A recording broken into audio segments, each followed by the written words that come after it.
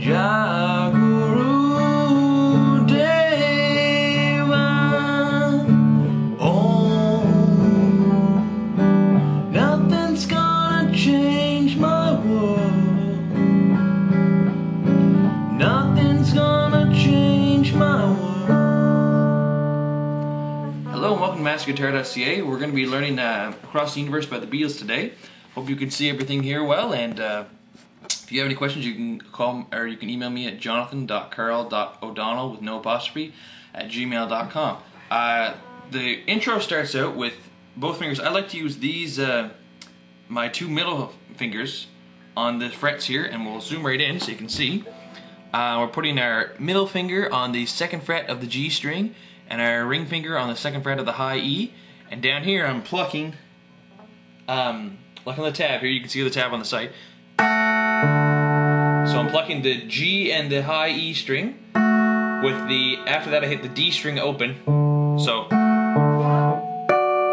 and then I slide right up to here and I play on the middle finger. I switch from this way to that. So I do the middle finger, on the 11th fret of the G string and my first finger on the 10th fret of the high E and we're hitting that D string open again after so it starts like this that's the first part and then it goes nines. So you hit on the same strings. You keep your fingers on top. And we hit a 9 on the G string and a 9 on the high E. And then a 9 or a 7 on the G string and a 7 on the high E.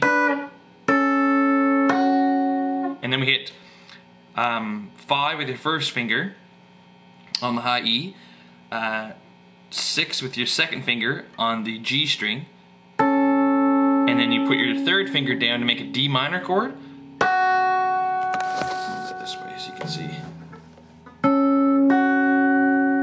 So that is on the the um, seventh fret of the B string. So I'll play it again real slow.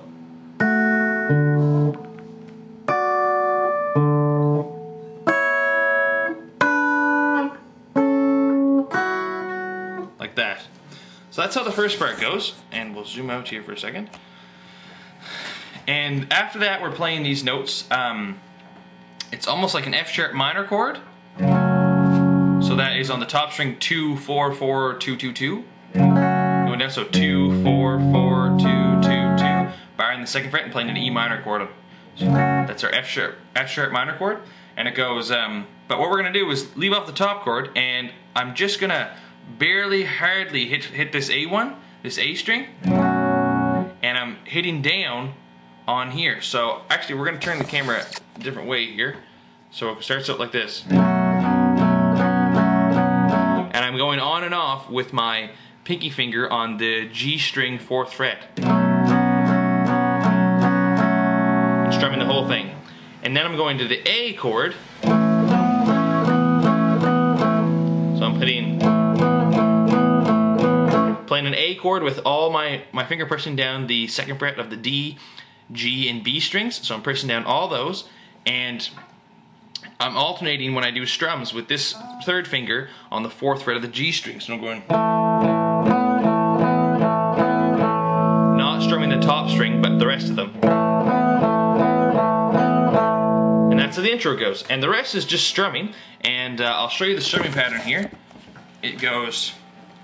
I'm just basically just feeling for the chords. That's the thing about strum patterns. They're kind of hard to teach. But um, I'll do my best on them so you can see.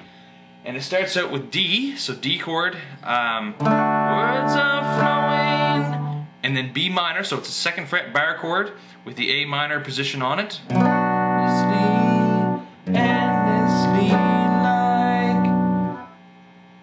And then it goes up, moves up from A minor to E minor to this F sharp minor again. slither. E minor 7 is just the first finger on the second fret of the A string. They slither while they pass, they slip away. A. Barring these three fingers, these three chords again with one string, or these three strings again with one finger. Across the universe. And that's A7, so what I'm playing here is a second, first, or middle finger on the second fret of the B string, and first finger on the second fret of the D string.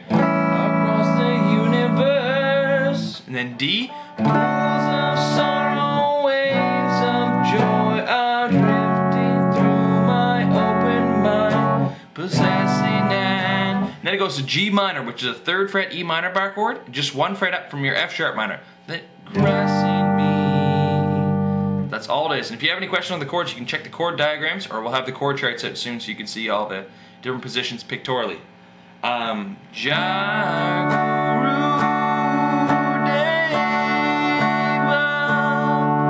That's your D chord. And then oh. And here what we're doing, instead of A7, we're instead of A7, you can see like this, we're playing A7 suspended 4, which is your first finger on the second fret of the D string and your third finger on the third fret of the B string. Then it goes back to A7.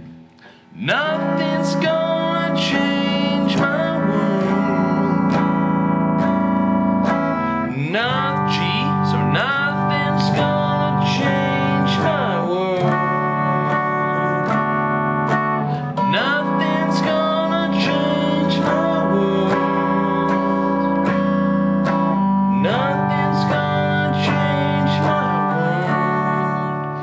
those patterns are repeated out through the whole song. If you need help on any certain chords or certain things, or you have questions, you can comment on this video, or you can email me at jonathan.carl.o'donnell at master at gmail.com.